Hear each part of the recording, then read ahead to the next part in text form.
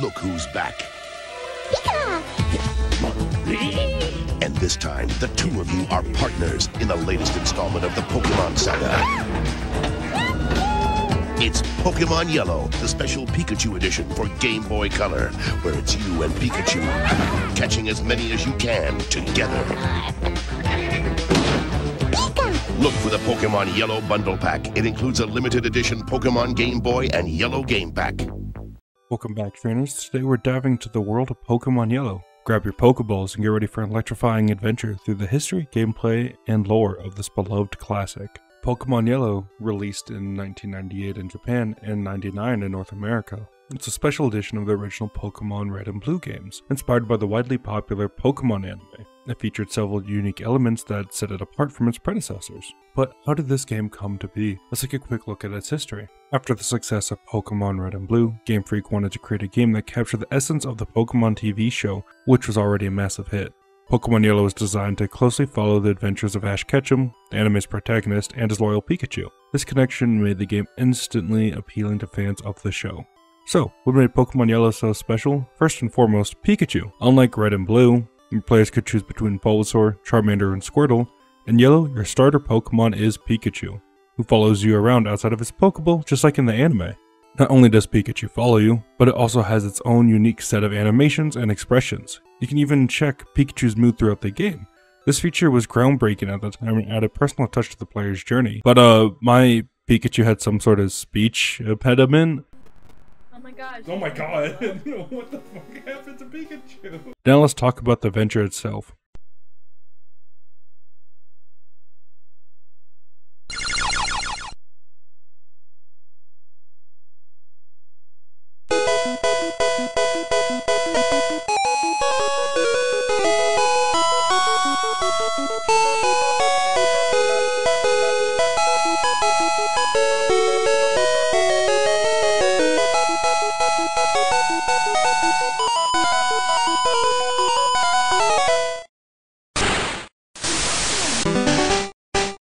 Begins in Pallet Town. Here we receive our Pikachu from Professor Oak and probably name it Pikachu.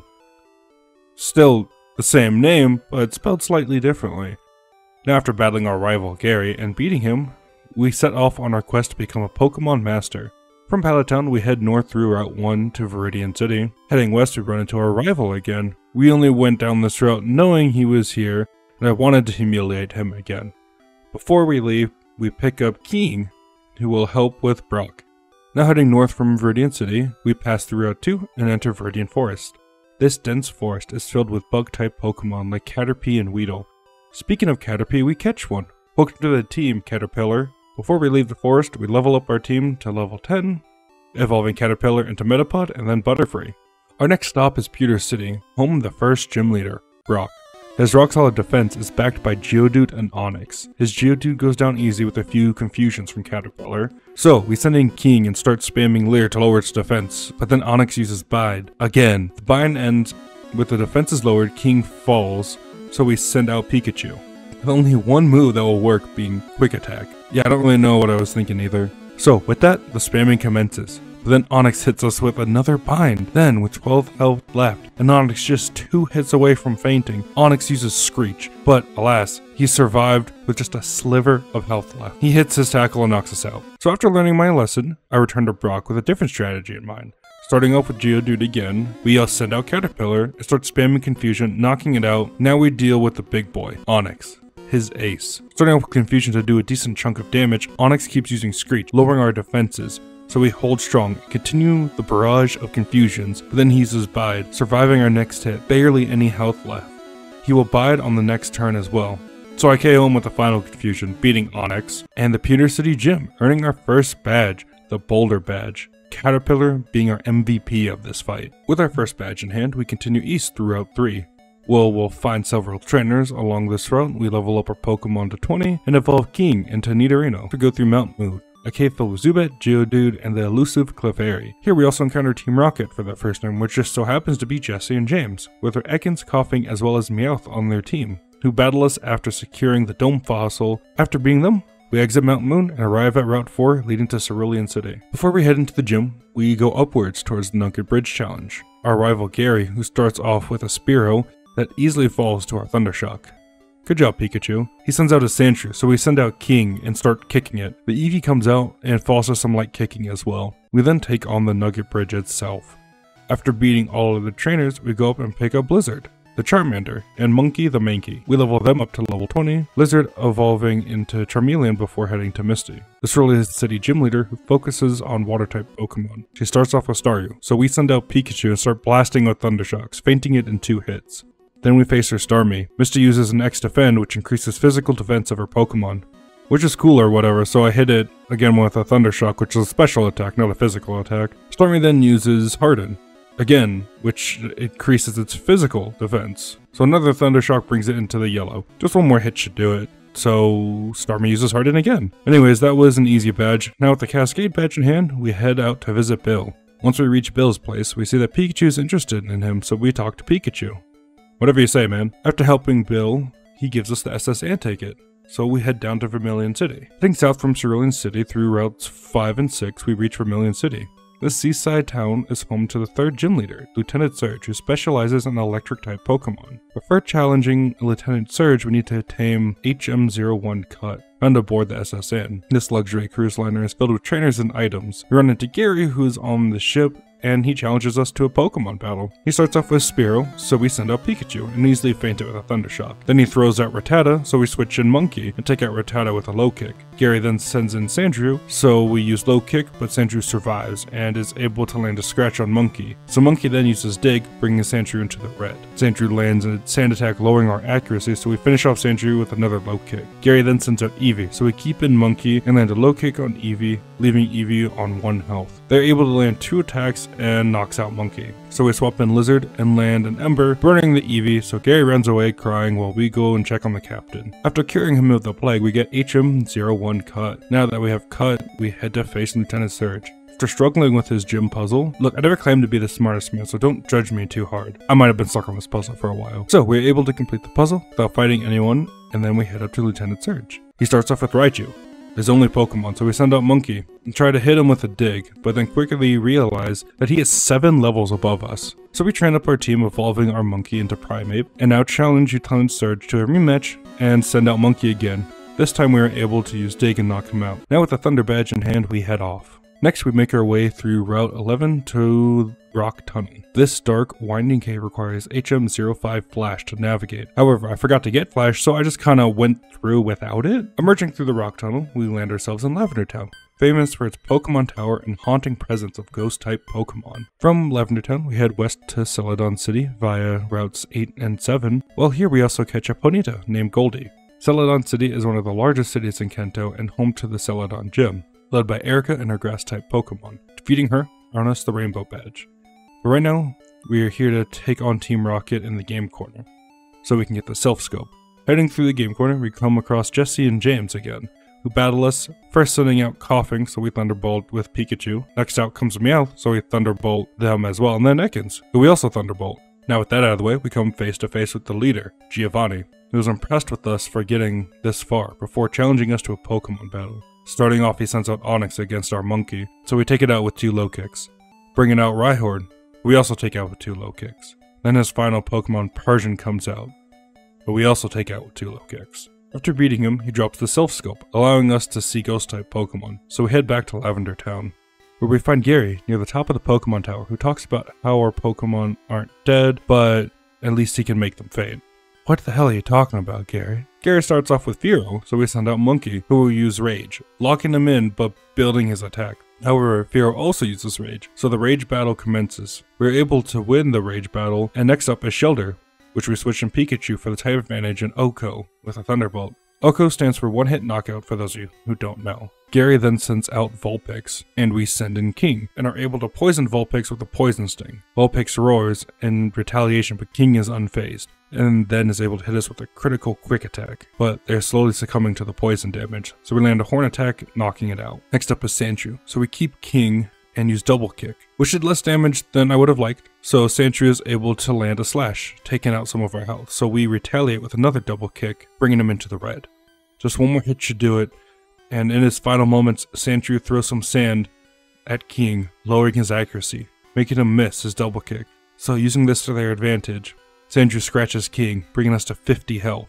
Again, we tell King to use double kick, and this time he lands it, knocking out Sandshrew. That's not over yet though. Gary still has his starter, his ace, Eevee. So we swap in Monkey, hitting it with a low kick, kicking it out of the battle as Gary runs away crying. We finish traveling up the tower till we reach the top, where Team Rocket is. After clearing them out, we escort Mr. Fuji home where he rewards us with a Poke Flute. Then after that, we immediately head back to Cerulean City since I forgot to pick up Bulbasaur, aka Plant, and head down to Vermilion City to pick up Squirtle, aka Wet. After leveling them up to their second stage so they're on par with the rest of our team, we pick up Snorlax, named Eepee, and our team is complete. Almost. Now we head over to fight Erika's grass type gym. She starts off with Tangela, and we send out Goldie, who is unfortunately still poisoned from our last battle, which is an oversight on my part. We use Ember till Tangela burns, which Erika quickly responds with Weepinbell. So we use Ember, which doesn't do as much damage as I thought, and Weepinbell uses Acid, taking out Goldie, so we swap in Eepee, which Weepinbell immediately puts to sleep. Guess I asked for that. But Eepee woke up and landed a headbutt, knocking out Weepinbell, bringing out Erika's ace, Gloom. We keep in Eepee, hoping for a swift knockout, who also uses sleep powder, which Eepee immediately wakes up from. So we try to go for a headbutt, but Gloom used sleep powder again, putting Eepee to sleep. Then uses acid, so I try something that I literally just thought of, and I'm upset that I've never tried it before. Which ended up working very well, even. Eepee got stun spored, Gloom starts thrashing about, doing decent damage, but we are able to land a headbutt, bringing both of us into the yellow. Another thrashing brings us low, so we try to rest, but Gloom is still thrashing and knocks out Eepee. So we swap in Pikachu. Using Thunderbolt not doing much damage, luckily, luckily, after all that thrashing, Gloom ends up confused, hurting itself, allowing us to land a quick attack, leaving Gloom at 1 health. Gloom was able to use another Petal Dance, bringing us into the yellow, so we go for another quick attack, knocking out and beating Erika, winning us the Rainbow Badge. Now with Erika beat, we head to Fuchsia City to go to the Safari Zone to pick up three things. Golden Teeth, to give to the old man to get the strength HM, um, Tauros, named Cow, to finish off our team, before leveling up our Goldie, Wet, Plant to their final forms, and to face Koga of the Poison Gym. Koga starts off with Venonat, so we send out Cow, an activating Rage, locking us into the move, but also increasing our attack if we're hit. Venonat responds with Psychic, doing a little damage to us, but increasing our attack. Another Rage brings Venonat into the orange. Tries to tackle us, but misses. Another Rage finishes it off, bringing out another Venonat. We keep in Cow to use Rage, and Venonat uses Toxins, but it didn't affect Cow. So we land another Rage, bringing Venonat into the orange, but this time they're able to land Toxic, poisoning Cow. So we Rage and knock out Venonat with a crit. So Koga sends out another Venonat, so we keep in Cow again to keep raging. They're able to land a double edge, bringing us down to 55 health. It does hurt the Venonat while also increasing our attack. Another range brings down their Venonat into the orange. They are able to land a Psychic, leaving us at 17 health, but boosting our attack, and with that final boost, we're able to knock out Venonat with Rage. Now, with his army of Venonat dead, he brings out his Venomoth. We land a Rage, bringing Venomoth into the yellow before Cal's fall to poison, so we swap in Eepee to finish the job with a Body Slam. With Koga defeated, we gain the Soul Badge. With only three badges remaining, we level up our Pokemon and go to Saffron City to take on Silph Co., where we face Gary once more. Who made it all the way up here, not to stop Team Rocket or anything, but to battle us. What the heck, Gary? That's such a dick move. Anyway, Gary starts off with Sandslash, so we send out Cow and start with Rage. Sandslash immediately uses Slash in response, but all that does is boost our attack. We land another Rage, bringing Sandslash into the yellow. He responds with a Poison Sting, increasing our attack even more. Another Rage brings him into the red. Poison Sting raises our attack again. With a final rage, we knock out Sandslash. Gary immediately sends out Ninetales, so we keep in Cow. His attack already pretty high, and has decent health. Ninetales is able to land a quick attack, boosting our attack again, even more than it was before. Another rage brings it into the orange. Ninetales lands another quick attack, building our rage again. So with a second rage, we knock them out. Next up is Cloyster, and we're able to knock him into the yellow, but they land a supersonic on Cal, leaving him confused hitting Cal into yellow, as well before hitting Cal with an Aurora Beam, putting us into the red. Cal breaks the confusion, landing another rage, knocking out Cloyster. Gary then sends out Kadabra. and I decided to keep in Cow as next is another boss fight and I want to save as many Mons as I can for them. So we land a rage knocking out Kadabra. We keep Cow in for Jolteon, also knocking him out with a rage and winning the battle. Gary runs off crying that he couldn't even defeat one of my Pokemon. Next up we fight Jessie and James of Team Rocket. Now Jessie and James are defeated. We face Giovanni. Again, he sends out Nidorino, and we send out Eepee. Nidorino hits us with a double kick, lowering us to a measly 200 health, so we body slam him into next week. With Team Rocket beaten, we take the Master Ball and head off to the fighting gym, where we pick up Hitmonlee before fighting Sabrina. Then we head off to Cerulean City and make our way to the power plant to catch Zapdos. After catching the legendary bird, we head off to the Seafoam Islands to catch Articuno, then land at Cinnabar Island where we go to the Pokemon Mansion to learn more about a mysterious Pokemon called Mewtwo, and also pick up the keycard for the gym. In Blaine's gym, we opt to answer the questions rather than battle trainers before facing the old man himself, who starts off with Ninetales. As we send out Cow, and locking into a rage, landing a crit, doing a decent amount of damage to Ninetales. Tries to land a Tail Whip, but failed. Locked into our rage, we land another crit, bringing Ninetales into the red, who this time lands a flamethrower, which raises our attack. With another rage, we're able to knock them out. And we stayed locked into our rage until Arcanine comes out and knocked out Cal, ending his raging rampage. So we send an Eepee and blast him with a Hyper Beam, winning us the Volcano Badge and leaving one gym leader left, the mysterious leader of the Viridian City Gym, where we find out it's Giovanni, the former leader of Team Rocket, who's trying to use the gym to rebuild his team. So we gear up to fight him, not as a trainer versus gym leader, but as an advocate for all Pokemon against their crimes against Pokemon. We have to win this battle, not only for the gym badge to fight the Elite Four, but to show Giovanni that Pokemon aren't tools for battle. They are our partners who we bond with, grow with over our journey. We feel their pain and pride. It's not just them out there battling, but us as well. After beating Giovanni, he gives us the Earth Badge. With all eight gym badges in hand, we head off to Victory Road, where we find Gary waiting for us. But we're able to beat him with just Cow, so we pay him no mind. We finally make our way to Victory Road itself, the final challenge before the Pokemon League. We avoid almost all of the trainers while picking up Moltres before getting lost in the cave. Now at the Pokemon League, we leveled up our team for the final time also stocking up on full restores and revives. Now it's time to face the first member, Lorelei, the ice type leader. We start off with Cal locking him into a rage, which is able to knock out her whole team, almost knocking out Cal. So, we tend to his wounds before facing Bruno. Here we switch to Wet, since Cal won't do much against his fighting types. Wet starts off with the Surf, OHKOing Onix. Next up is Hitmonchan, so we respond with a Hydro Pump, also OHKOing it. Bruno then sends out Hitmonlee. We land a Hydro Pump knocking him out. Bruno then sends out another Onix, which we were able to knock out with a Surf. And his final Pokemon Machamp, which we were able to bring to 1 health with a Surf, but then he knocks himself out. After beating Bruno in that interesting way, we head up to Agatha, who we really don't have any counters for. Dark types won't be invented until Gold and Silver, and we don't have any ghost type Pokemon on our team. Cow and Eepee are no good since their main attacks are normal type, so we decided to go with Pikachu. It was a tough battle, almost losing Pikachu to confusion, but Pikachu was able to sweep through her team. Next up is Lance, the Dragon Master. Since he has Gyarados and Dragonite on his team, we start with Pikachu, hoping to take advantage of their weaknesses to Electric type Pokemon. Which worked for the first Pokemon, but I got greedy. And Pikachu fainted, so we send in Plant, who was able to knock out both Dragonairs before falling to Aerodactyl. So we swap in Wet, and feint it with a Surf. Now all that's left is Dragonite, who knocks out Wet, but Rapidash is able to finish it off. With the two healthy Pokemon being Cow and Eepee to face Gary, I'm pretty confident in taking the win, as last time we battled Cow was able to take on his whole team. But this time Cow is only able to take out Sandslash, so we swap in Eepee earlier than I thought, and start body slamming our way through the rest of his team, and Eepee is able to beat the rest of his team, beating Gary and making us the Pokemon champion. Now time to register our team in the Hall of Fame. Cal, the Tauros. Eepee, the Snorlax. Wet, the Blastoise.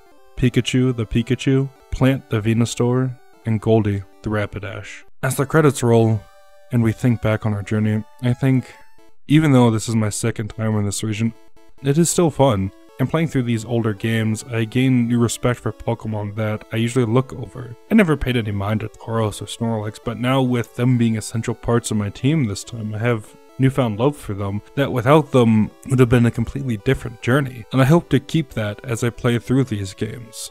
That I'm able to find that with more Pokemon that I wouldn't have thought of otherwise. Wait, what's that? We're not done yet? That's right, there's one thing left to do.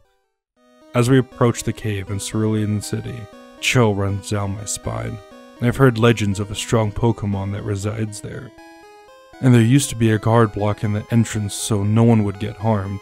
It is my job as the champion to make sure that this Pokemon is either quelled or tamed. This Pokemon, who was created by humans in the Pokemon Mansion, the strongest one. I just struck the Master Ball 'cause I ain't risking that.